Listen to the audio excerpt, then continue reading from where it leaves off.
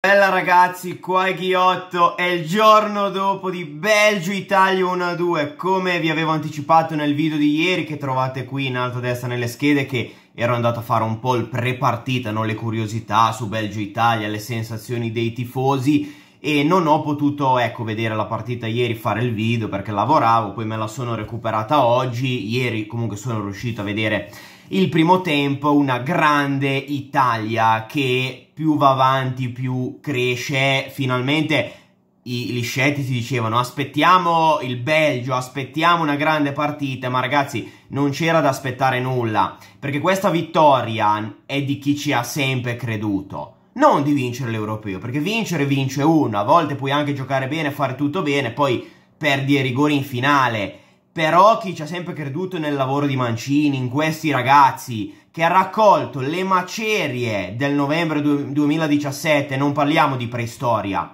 ma dell'altro ieri, che non eravamo neanche qualificati ai mondiali, neanche qualificati e ora siamo a giocarci un europeo e siamo riconosciuti da tutti, magari non da noi, adesso anche da, dai tifosi italiani, ma di fronte all'evidenza, ma fino a ieri no, c'erano molti scettici, siamo riconosciuti da tutto il mondo come la squadra più bella, più bella che diverte, perché io quando guardo l'Italia mi diverto ed è strano, no? Perché poi l'Italia è la patria, no? Di, anche nel 2006 abbiamo vinto, ma magari giocando un calcio non bellissimo, catenaccio, poi non è che siamo qua, se vogliamo divertirci andiamo al circo, cheat Max Allegri, però diciamo che se ci divertiamo ancora meglio. È una squadra che ha una sua precisa identità, che non si adatta all'avversario, o meglio, non si snatura. Poi ieri ci siamo un po' adattati al Belgio, perché in effetti i primi 20 minuti hanno tratto in, in inganno anche me.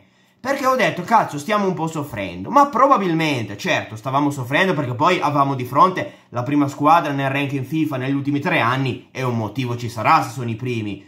Io l'ho sempre considerati sopravvalutati la squadra dei, dei Red Davis. Però comunque, eh, obiettivamente sono forti, sono in forma, l'avevano vinte tutte fino adesso, quindi un motivo ci sarà ragazzi. Però e l'abbiamo preparata secondo me così attendendoli, facendoli sfogare, soprattutto giocando col baricentro un po' più basso, perché Lukaku, che ieri è stato uno dei peggiori secondo me del Belgio, nonostante poi è stato freddo dal dischetto, ma lui sappiamo che è bravissimo da calciare i rigori, se gli concedi campo e spazi diventa devastante, se no se tu non gli concedi quello, la profondità diventa un giocatore eh, normale, perché poi tecnicamente si è visto che Lukaku sa usare solo il mancino. Il destro, eh, su quell'occasione su assi di De Bruyne, lì un attaccante deve fare gol. Invece, se notate bene, non è riuscito neanche a colpirla bene. Praticamente la presa di piatto, se, non so se ha tentato di stopparle. Poi vabbè, Spinazzola ha salvato quel gol, poi anche di testa poteva fare meglio. Apro parentesi, ragazzi, è una grossa perdita Spinazzola perché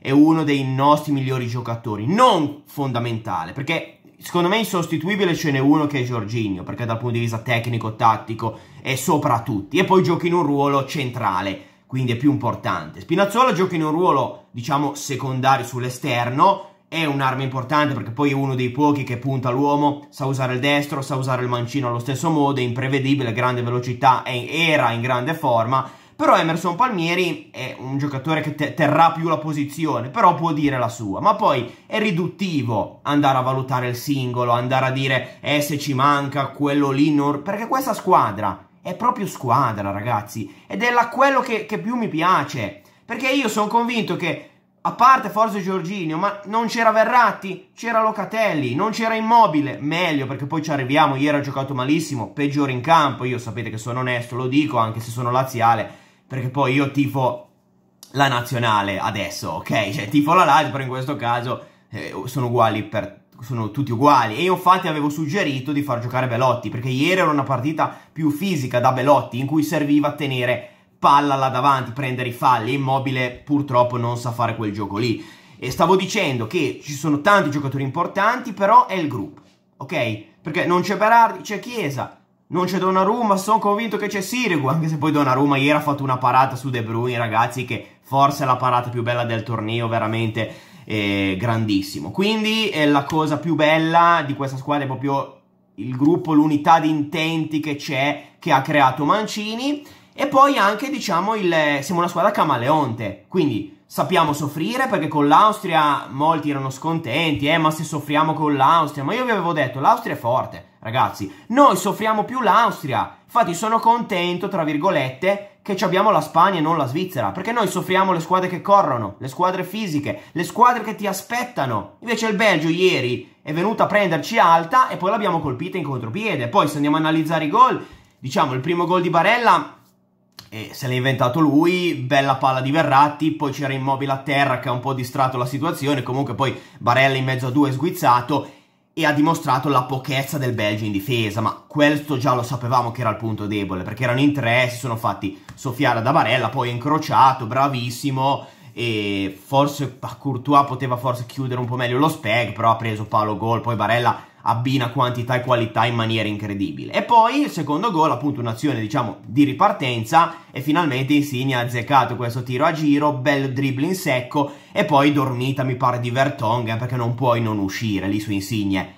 Cioè lì era proprio una posizione da tiro a giro, poi ha tirato proprio bene, Courtois eh, ci ha provato però, magari Donnarumma l'avrebbe parata secondo me, eh, perché è veramente incredibile Donnarumma, diciamo che 12 milioni sono un po' troppi, però eh, li vale, diciamo che lui li, li vale. E, e, niente, quindi ieri Insigne è salito in cattedra nei momenti decisivi, era un po' mancato con l'Austria, anche nelle scorse partite era troppo lezioso. Ieri invece sono saliti in cattedra le, i nostri, diciamo, campioni, perché poi si dice questa nazionale non ha campioni, ma perché il proverbio il giardino de- dei vicini è sempre più verde, il giardino degli altri è sempre più verde, è proprio secondo me una una regola di vita, è proprio vero, perché la mentalità della persona è sempre dire che gli altri sono meglio, che quello che non c'è è meglio. Ma il Belgio l'abbiamo visto, c'è fenomeno il Belgio, gira e ribalta, ne, ha, ne, hanno due, e non è Lukaku, ne ha De Bruyne, che anche ieri ha giocato da, da mezzo infortunato, ma è stato comunque una spina nel fianco grossa, perché ha fatto un tiro all'incrocio che Donnarumma ha fatto una parata incredibile, un assist a Lukaku solo da buttare in porta, potrei fermarmi lì, più tante alte verticalizzazioni, e poi Courtois, che secondo me il Drago Courtois è un grandissimo portiere,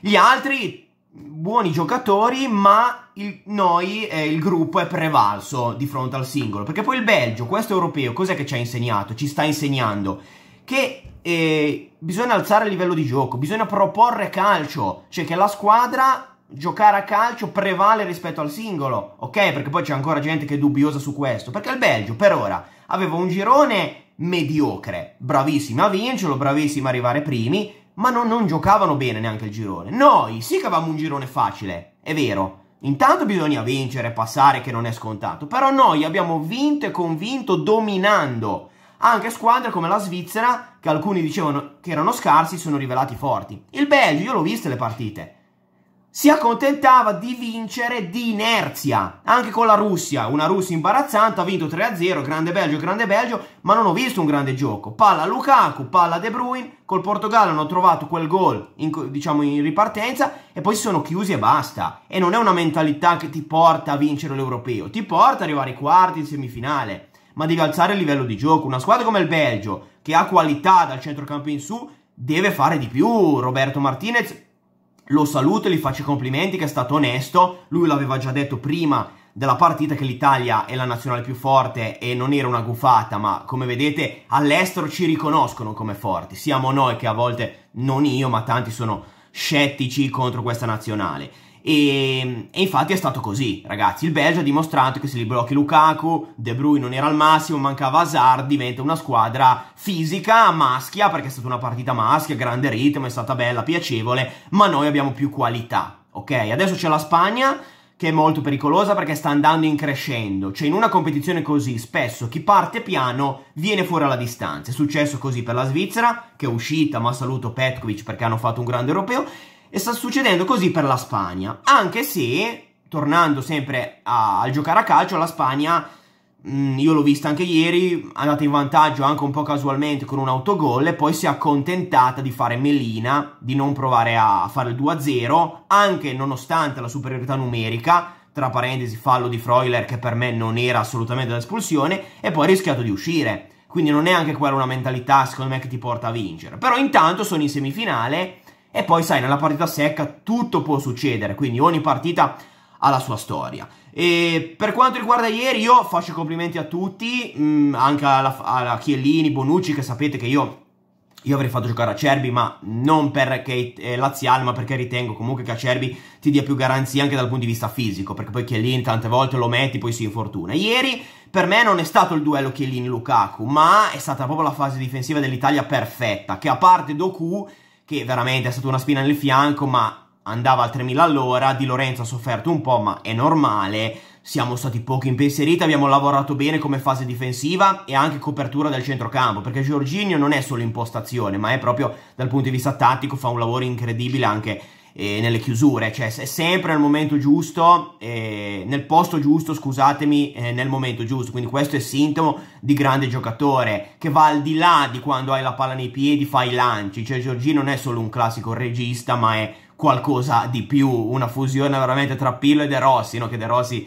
ricordiamo che lui giocava lì ma spesso faceva il terzo di difesa, no? e Giorgino veramente eh, tanta tanta roba, e è mancato un po' immobile ragazzi, cioè ieri non ha avuto tante palle giocabili, è vero, però devi almeno prendere i falli, tenere sulla squadra, e non sei stato in grado di fare quello, e dimostra le sue pecche nel, nel 4-3-3, devi avere un attaccante di manovra lì davanti che ti sappia tenere palla, e Mancini deve essere bravo a eh, fare la staffetta, ok? Come oggi, come ieri ha fatto giocare Chiesa, ha fatto bene al posto di Berardi, nonostante Berardi a parte con l'Austria, ma sta facendo anche lui un grande europeo, anche ieri è entrato bene, però devi capire chi sta meglio e anche poi le partite sono diverse, quindi per me magari con la Spagna può essere una partita data a Ciro Immobile, ieri era da Belotti, infatti Belotti sia con l'Austria sia oggi, quindi partite fisiche, è entrato e ha fatto bene, almeno ha fatto salire la squadra, ed è quello che deve fare una punta, ok? Perché una partita non è facile, anche per Lukaku,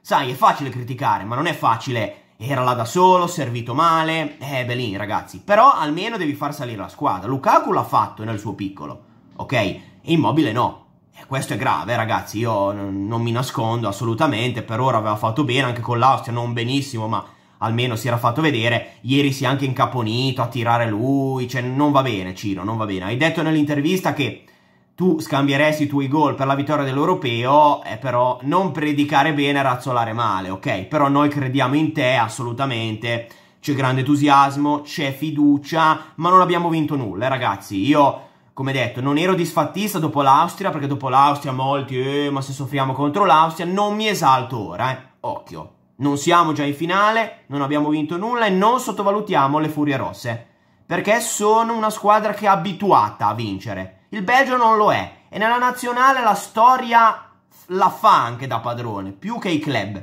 capito? Quindi in una partita secca, attenzione alla Spagna, anche perché comunque, nonostante tutto, l'ho vista in crescita. Lo stesso Morata in crescita, sta ritrovando fiducia, perché poi le vittorie eh, sono passate dalle critiche alle vi- poi a, t- a, tante vittorie, anche con goleade, comunque con la Croazia, con la Slovacchia, ti danno fiducia, consapevolezza nei propri mezzi. Però penso che noi di quella consapevolezza ne abbiamo tanta, ma fin dall'inizio, ok? E ripeto, questo è l'europeo di chi come me ci ha sempre creduto in questi ragazzi. E anche dovessimo uscire, state tranquilli, perché noi stiamo costruendo qualcosa per essere protagonisti anche al mondiale, che è tra un anno e mezzo. Quindi questo gruppo qui andrà anche al mondiale, più o meno. Magari non ci sarà più Chiellini, non lo so, qualcuno non ci sarà più. Però più o meno il gruppo sarà questo, perché poi è una squadra abbastanza giovane. È chiaro, quindi anche dovessi uscire adesso, stai tranquillo, perché noi saremo competitivi i prossimi anni. Mancini dovrebbe rimanere, lunga vita Mancini.